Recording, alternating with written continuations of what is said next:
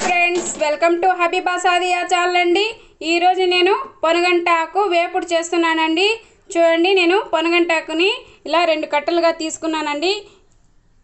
నేను పొనగంటాకు వేపుడు ఎలా తయారు చేస్తానో ఈ వీడియోని చివరి వరకు చూసాను ఫ్రెండ్స్ మీకు అర్థమవుతుంది నేను ఈ పొనగంటాకు వేపుడు ఎలా తయారు చేస్తానో. చూడండి ఫ్రెండ్స్ నేను ముందుగా రెండు పొనగంటాకు కట్టలను తీసుకున్నానండి. చిన్న కట్టల్ని ఇలా కట్ చేసి పెట్టుకున్నానండి నేను పొనగంటాకుని. చూడండి ఈ విధంగా నేను కట్ చేసి పెట్టుకున్నానండి పొనగంటాకుని. బాగా ఒకటికి మూడు తూళ్ళు బాగా కడు కడగాలండి ఈ ఆకుని. నేను ఒకటికి మూడు తూళ్ళు కడిగి పెట్టుకున్నానండి వాష్ చేసి పెట్టుకున్నాను ఈ ఆకుని. చూడండి ఇలా నేను సన్నగా కట్ చేసి పెట్టుకున్నానండి. వేపుడికి ఇలా కట్ చేసి పెట్టుకుంటే టేస్ట్ అనేది చాలా బాగుంటుందండి. చూడండి ఈ పొనగండాకుకి కావాల్సిన పదార్థాలు చెప్తున్నాను నేను. చూడండి నేను పల్లీల్ని ఒక కప్పు చిన్న కప్పుతో తీసుకున్నానండి. ఇలా వేయించి పెట్టుకున్నాను పల్లీల్ని. ఆ తర్వాత తెల్లగడ్డ ఒక గడ్డ తీసుకున్నానండి. ఎండుమిరకాయలు ఒక ఆరు తీసుకున్నానండి నేను. ఎండుమిరకాయలు ఒక ఆరు తీసుకున్నాను. ఇలా తుంచి పెట్టుకున్నానండి. పచ్చని బెల్ పచ్చని బాళ్ళు అంటారండి వీటిని. చూడండి పచ్చని పప్పు అంటారు. ఇలా నేను ఉడికించి పెట్టుకున్నానండి. చూడండి ఈ విధంగా ఉడికిపోవాలండి. పచ్చని పప్పుని నేను ముందుగానే ఉడికించి పెట్టుకున్నానండి. ఆ తర్వాత ఎర్రగడ్డ తీసుకున్నానండి నేను. చూడండి ఎర్రగడ్డ ఒక గడ్డ పెద్ద సైజు గడ్డని ఇలా పొడవుగా కట్ చేసి పెట్టుకున్నానండి నేను.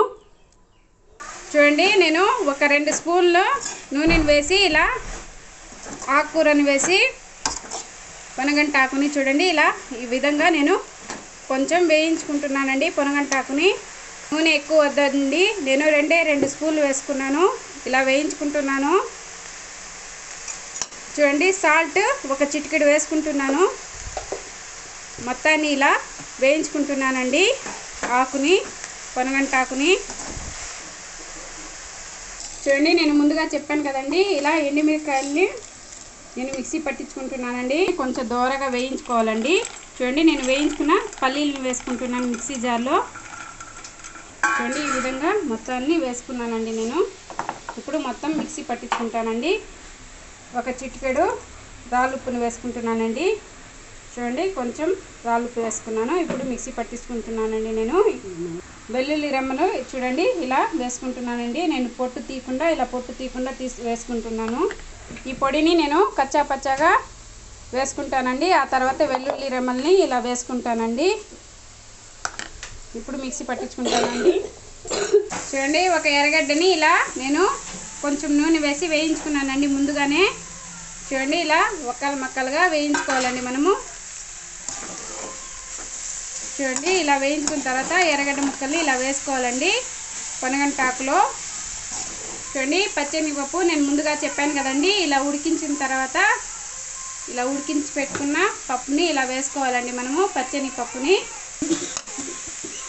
ఈ విధంగా మొత్తాన్ని ఇలా వేయించుకోవాలండి. ఈ వేపుడిని చాలా అంటే చాలా టేస్టీగా ఉంటుందండి ఈ పనుగంటాకు వేపుడు. మనము అలాగే అయినా అన్నంలో తినేవచ్చండి పప్పు చారు చేసుకుంటాం కదండి సైడ్ డిష్గా ఇలా చేసుకుంటే చాలా అంటే చాలా టేస్టీ అండి. పనుగంటాకు అనేది ఆరోగ్యానికి ఎంతో మంచిదండి. నేను ముందుగా చెప్పాను కదండి పల్లీల్ని ఇలా మిక్సీ పట్టించుకోవాలండి. కొంచెం కచ్చా పచ్చాగా పట్టించుకోవాలండి. అప్పుడే పొనగంటాకులు వేస్తే కూడా టేస్ట్ అనేది చాలా అంటే చాలా బాగుంటుందండి. చూడండి మొత్తాన్ని ఈ విధంగా వేయించుకోవాలండి మనం. చాలా అంటే చాలా టేస్టీగా ఉంటుందండి. తప్పకుండా మీరు ఇలా ట్రై చేయండి. చూడండి నేను ముందుగా మిక్సీ పట్టించుకున్న పల్లీల పొడిని ఇలా వేసుకున్నానండి. చూడండి మొత్తాన్ని ఇలా ఆకుకూరలో ఇలా వేయించుకోవాలండి మనం. చూడండి ఇలా దింపుకొని స్టవ్ ఆఫ్ చేసేసానండి నేను.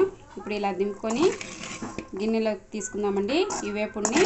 చూడండి ఎంతో టేస్టీ అయినా పొనగంటాకు వేపుడు రెడీ అయిపోయిందండి. తప్పకుండా మీరు ఇలా ట్రై చేయండి. చాలా అంటే చాలా టేస్టీగా ఉంటుందండి. మనకి అన్నంలోకి ఈ వేపుడిని అలాగే వేసుకొని తినేయచ్చండి. చాలా టేస్టీగా ఉంటుంది. నా ఛానల్ కనుక మీకు నచ్చినట్లయితే లైక్ చేయండి మీ బంధుమిత్రులకి షేర్ చేయండి తప్పకుండా నా ఛానల్ని సబ్స్క్రైబర్ చేసుకోండి. Thank you for watching.